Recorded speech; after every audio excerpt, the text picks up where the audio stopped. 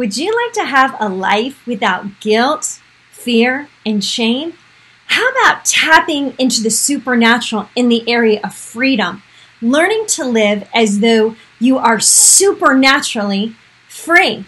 Well, my guest today has written a book that is going to take us into the places of learning to walk in supernatural freedom. Stay tuned, and you're going to have the answers to all of your questions in just one moment.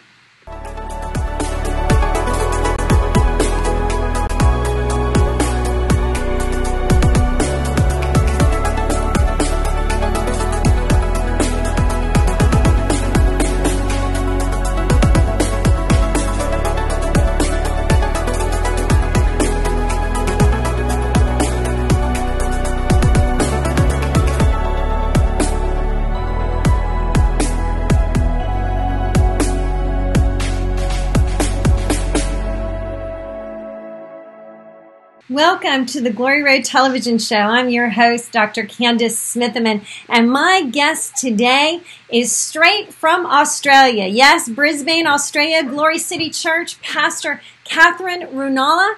And I'm so excited to have her. She's a healing evangelist, revivalist. She's a pastor, author. She has her own television show on Daystar. And so it's wonderful to have her today because she's going to talk to us about supernatural freedom. And so let's have Katherine join us. Hi, Katherine. Hey, it's so wonderful to be here. Thank you for having me.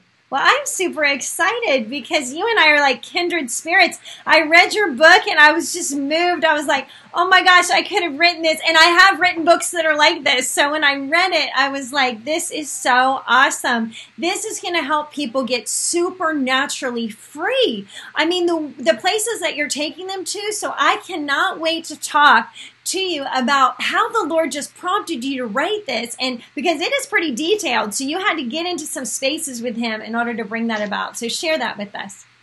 Uh, it's so wonderful to be able to talk about it because I'm all about application in that we can know so much. Solomon knew so much, but without application, we don't get to enjoy the privilege of what it looks like to live in that freedom. For freedom, we've been set free. Praise God. Amen. But, you know, I really, I really wanted people to uh, know what it felt like and looked like to actually live free from fear, free from guilt, free from shame, to free from that sense of condemnation that makes them feel like they're not measuring up, they're just not enough. And you know, people with good hearts so often live every day with the weight of a sense of not being good enough, not measuring up, and and missing the beautiful revelation of justification by faith and what that actually means for them in a practical way every day.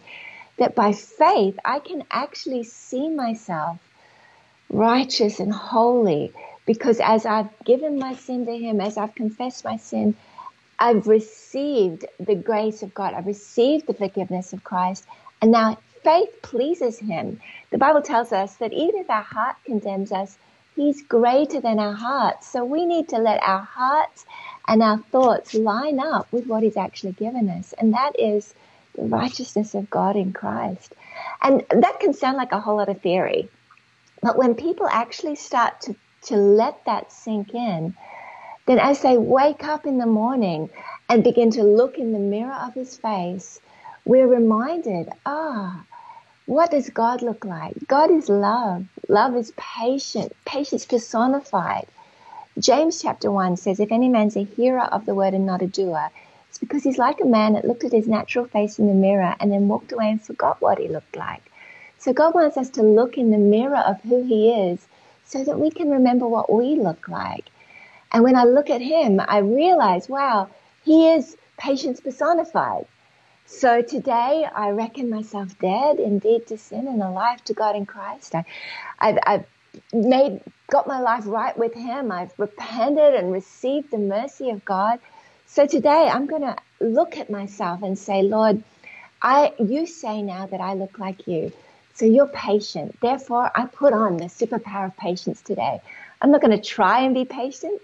I'm going to agree with you that now it's no longer me who lives, but Christ who lives in me. Therefore, I am patient. I am kindness personified. And when we believe that, the Bible says, as a man thinks in his heart, so is he. And as we understand this identity, we're actually empowered to live it out instead of coming from a, a, um, a, a deficit of thinking, well, I'm just not good enough, but I'm going to try. The heart of God is for us to really recognize and understand the reality of what it looks like to have a new identity in Christ. And when we believe that, then we can actually, by faith, walk it out. And it's, it's glorious. And I want people to be able to wake up free, actually happy. Hallelujah. Wow. Do you guys feel the happiness and the joy when you watch her bring forth the word. She loves God so much and you can see it all over her. And so it's contagious. So I can like feel it coming through your love for God and how it's pouring out on those people that are watching. And I know people are thinking to themselves, oh, I want to love God like that. I want, you know, what she has. I want to know um, what it's like to um, be in the glory and be in the presence of God. And you know, Katherine, you and I both know that that starts only by understanding we died with Christ, we are buried with Him, and we are resurrected in Him. That is the only way you can get to that place of releasing heaven, releasing the glory of God um, into atmospheres, is being able to live from that place. I don't care with me, carry with me fear, anxiety, depression. I do not carry it with me because I have, uh, when I die with Christ, I left that behind. That that is yesterday, so I don't need that anymore. I, it's not a part of who I am. And I love what you're saying in this book because you're helping people raise up in their identity. You're helping them see that this is who you are, and if this is who you are, then that baggage can't come with you. That's so true. But so often we let the little foxes spoil the vine in that I think about it like my, my iPhone, you know, if I um, open apps, they just keep ticking away in the background. But it's not until I actually shut them down that they stop hanging around there and wasting the battery. And in the same way, I have to take captive every thought that exalts itself against the knowledge of Christ. That is every thought I have about myself that doesn't line up with who he is. So if I'm defining myself by my failures and I say, oh, I'm lazy or I'm selfish or I'm not very spiritual, they are thoughts that are exalting themselves against the knowledge of who Christ is. And the Bible says it's no longer me who lives, but Christ who lives in me. So I need to recognize that, not just ignore it, but actually recognize it and go, oh, I see you. That's a lie. I'm going to catch you, cast you down, and replace it with truth. So when my heart says, oh, you're lazy, or you're not very spiritual, or you're a hypocrite, I go, okay, have I done anything that I haven't brought to the Lord?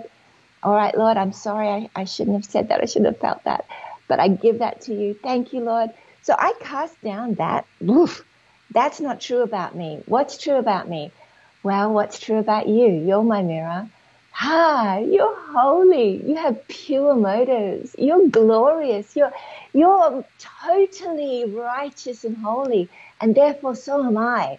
Mm, what does it feel like to be not guilty?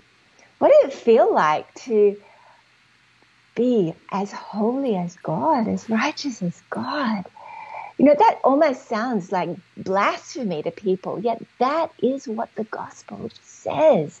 And that's the heart of God because if we're to do the works of Jesus, we can't do it out of our old identity. We need to step into that born again reality and begin to believe Him today uh, so that we don't forget what has happened to us, but we intentionally every day reckon ourselves dead indeed to sin and alive to God in Christ and put off the things that don't belong anymore and put on, clothe ourselves with these new superpowers that we've been given compassion, kindness, humility, gentleness. I'm not trying to be humble or gentle uh, and putting it over an old, ugly me. That person has died.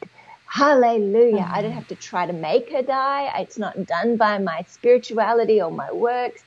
By faith, I agree with you. Thank you, God. You set me free from me. Hooray. Hallelujah. and it's, it's a great way to live. And it's, it's the only way to live in, in true freedom. Otherwise, we're always fighting this heaviness and these mm-hmm. lies and these fears that if people only really knew what I was like, you know.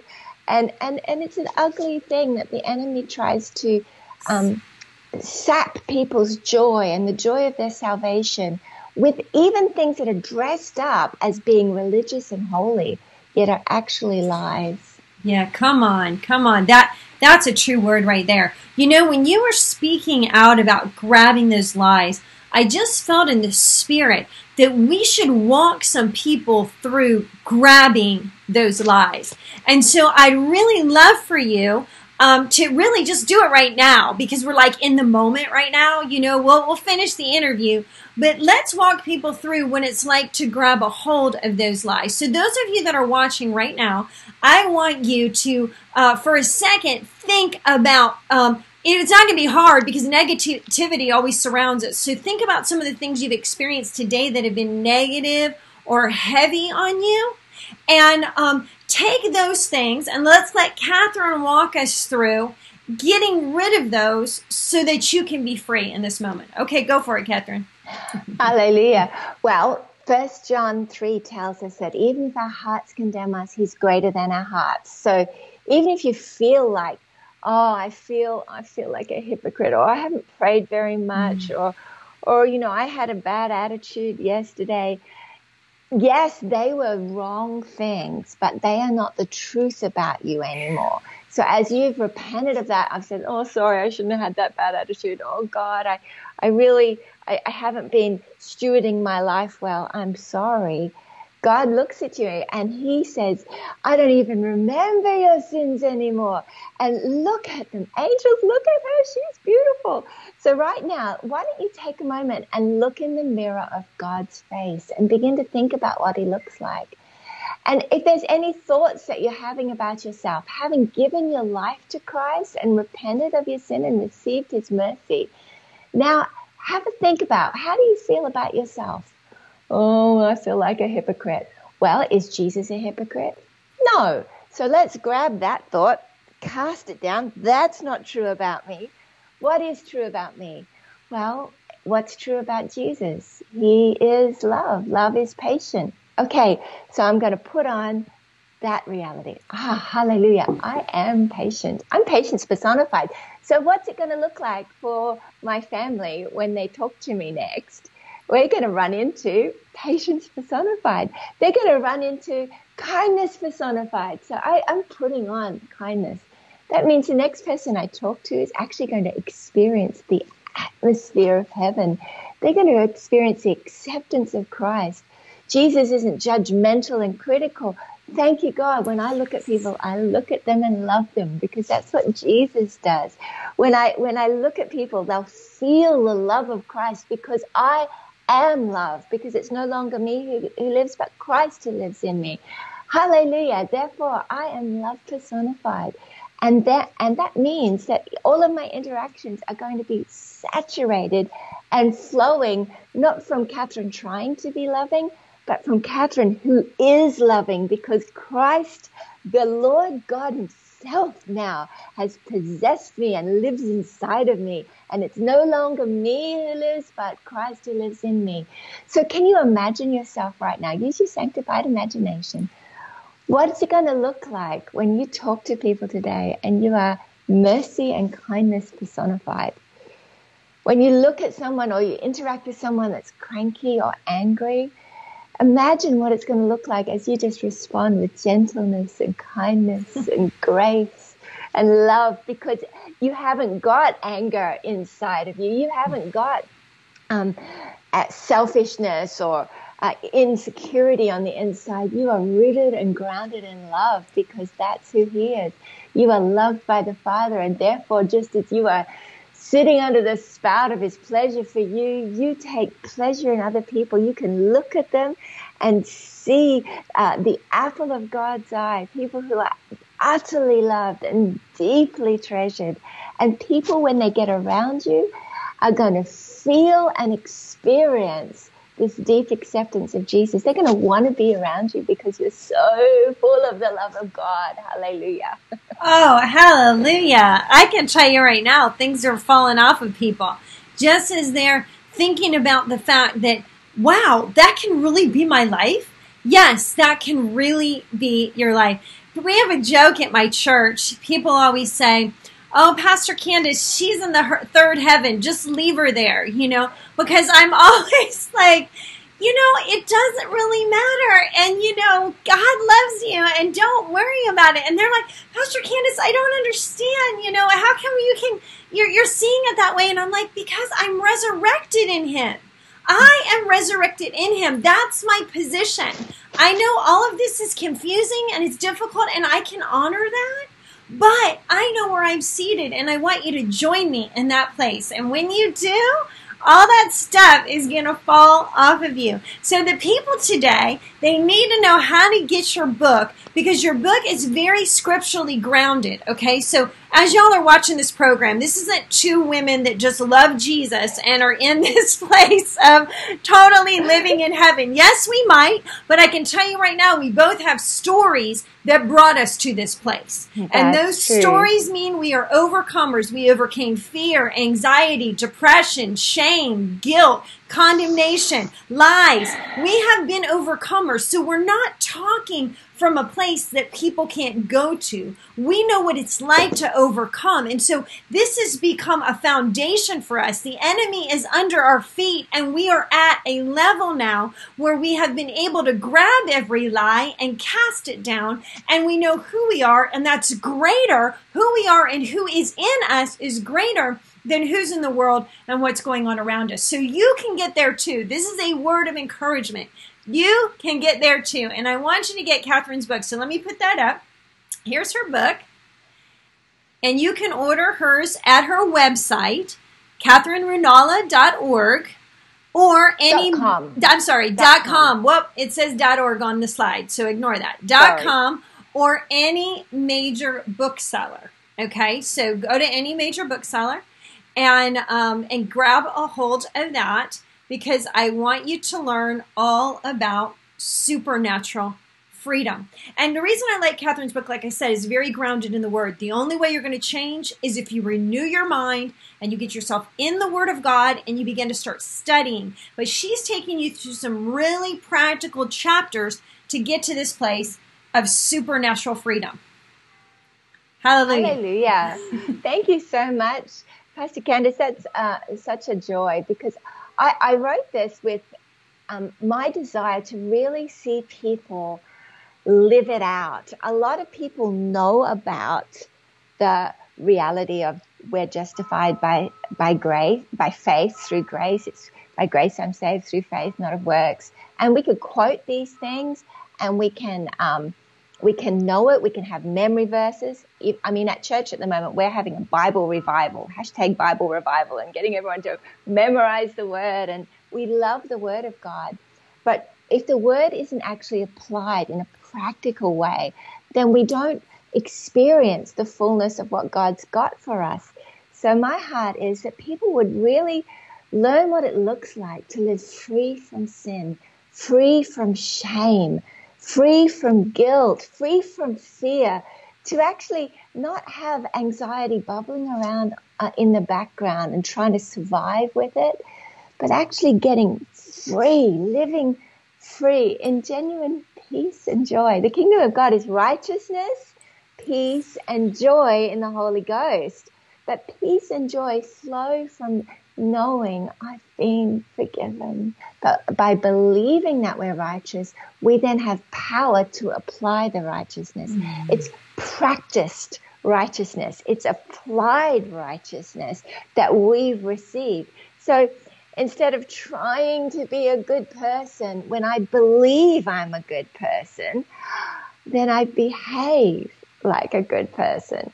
When I believe that I'm pure, then I behave as one that is pure. I, I used to be so full of insecurity. Mm-hmm. I was my my harshest critic. And the truth is when you're a critic of yourself, with the same measure that you use towards yourself, you use toward everybody else. Mm-hmm. So in your head, you'll be judging everybody else. Yes. But so the, the, the key came for me when I really started to let the love of God overwhelm me and undo me. Ephesians 3 14 to 21 was my life changing passage. I began to pray that apostolic prayer, personalize it for myself, and begin to ask God, I want you to strengthen me with might in my inner being so that I can truly come to know, together with all the saints, Christ dwelling in my heart through faith, that I would be rooted and grounded in love. I'd know this love that passes knowledge and be filled up continually to overflowing with all the fullness of God. And I, I prayed that every day for three months, personalizing it. And I came from a background of abuse and rejection and abandonment, and I was so insecure. But his perfect love came in and displaced that insecurity. And he began to say, You're not ugly, you're not stupid, you're not uh, messed up and impure. You are holy, you are loved, you're righteous, you're delightful, you're, you're beautiful, you're holy.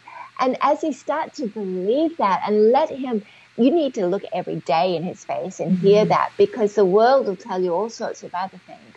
But when you start to believe that, then you start to manifest that because as a man thinks in his heart, so is he. What I believe is what I will manifest. Hallelujah. So that's what changed my life. The love of God will change your life too. Hallelujah you know i know this is ministering to some people right now you know and i and and i know this is two women on this broadcast but this goes for men too you know men Absolutely. you know jesus wants to look you in the face and tell you how much he loves you how proud he is of you.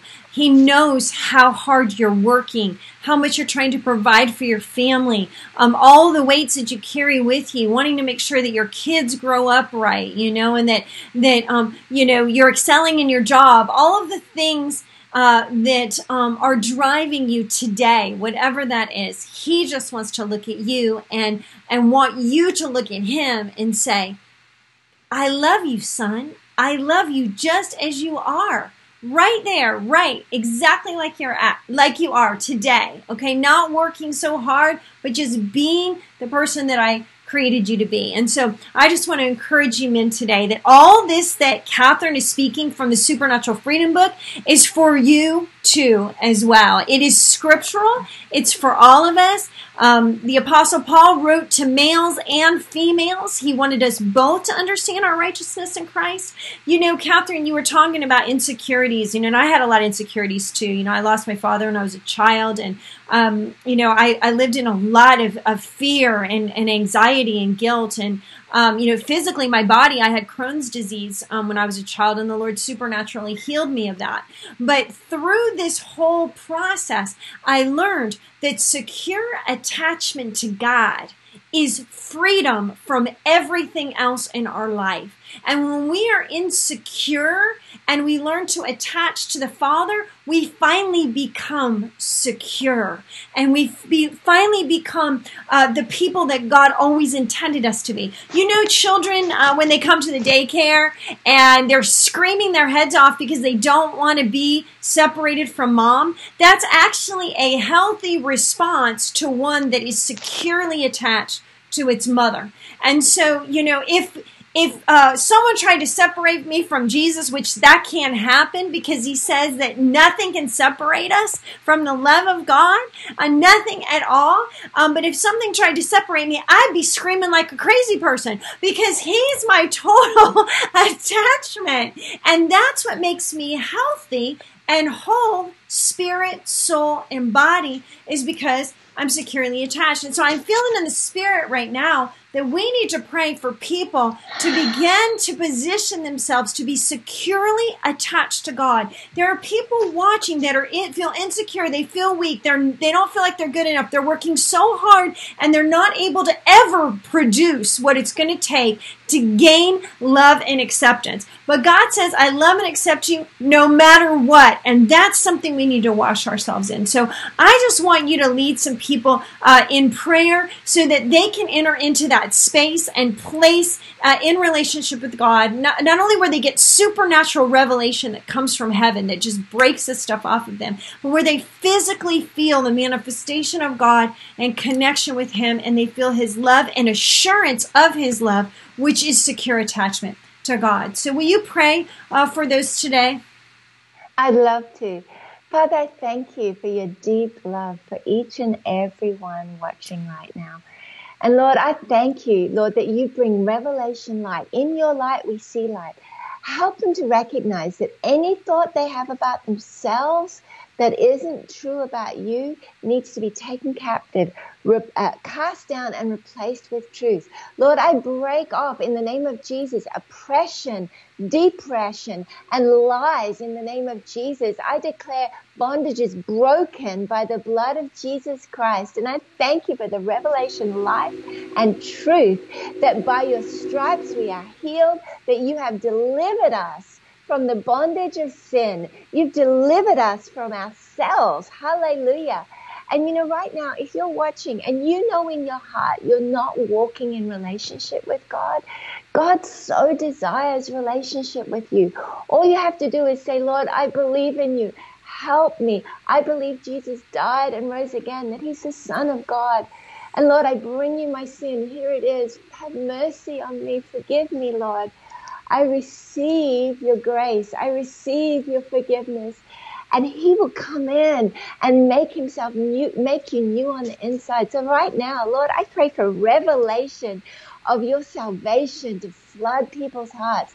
That those that know you, that you would help them to enter into the joy of that salvation.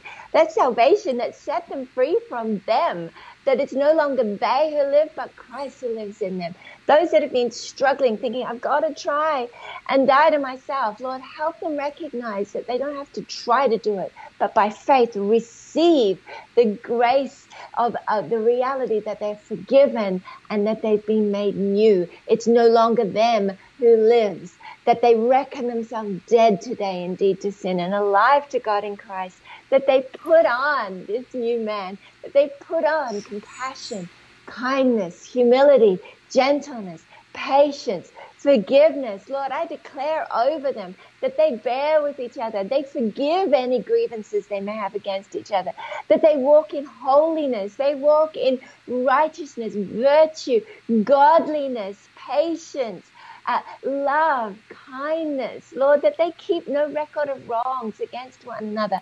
Lord, I thank you that they bear all things, hope all things, endure all things. Lord, that their thoughts are righteous, that they have the mind of Christ, that they have the wisdom of God, that they have the, the strength and the